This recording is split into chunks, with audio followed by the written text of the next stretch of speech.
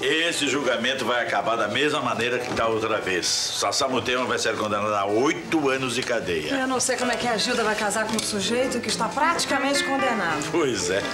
O que é que você bebe, Bárbara? Eu queria o meu uísque, como sempre. E o On The Rocks pra mim. Ah, desculpe, o senhor sabe alguma coisa do julgamento? Eu sei o que nós acabamos de ouvir no rádio do carro. É, o Sassá confirmou a confissão e disse que matou mesmo. É que eu sou marido da Clotilde e eu... Ah, prazer. Muito prazer, Ricardo Ribeiro. Como vai? Minha neta Bárbara. Faz favor, sente Tá, com licença. É que indiretamente eu estou muito interessado nesse julgamento. Ah, sim, mas todos nós estamos interessados, direto ou indiretamente, nós somos muito ligados a esse acontecimento, a esse julgamento. Eu era noiva do Juca, mas só depois da sua morte eu percebi que ele tinha uma forte ligação com a organização de tráfico de drogas. E posso dizer também com toda segurança que eu reconheci pelos jornais as fotos de dois dos homens que foram metralhados naquele landau. Uma vez eu fui apresentada a eles pelo Juca na Fazenda Matão. Um deles de cabelo branco e o outro advogado chamado Rubens. Eu não tenho condições nem provas para inocentar o Sassá.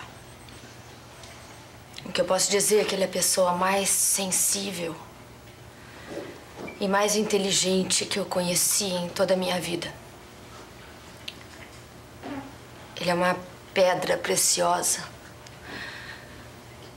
que saiu do estado bruto e se transformou rapidamente com a sua luz, com seu brilho. Ele me conquistou definitivamente. Mudou completamente a minha vida. Eu percebi que ainda valia a pena viver através do contato com ele. Então eu acho que um homem assim merece a oportunidade da vida e da liberdade. Ele tem o meu amor.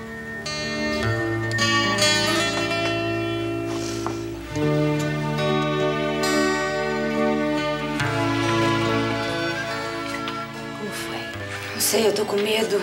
Os jurados parecem estátuas. Por favor.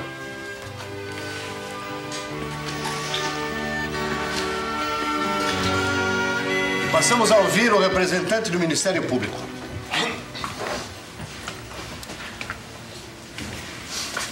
Senhores jurados,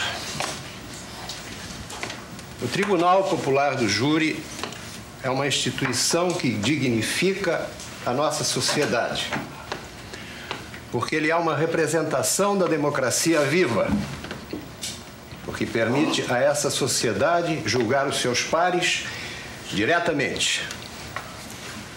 Vossas Excelências são como que representantes de uma síntese do pensamento popular, da opinião pública, colocados aqui para julgar um homem, um homem do povo,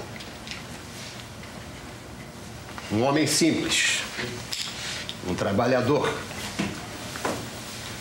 Um homem simples que hoje é o prefeito da cidade de Tangará, eleito que foi pelo voto dos seus concidadãos.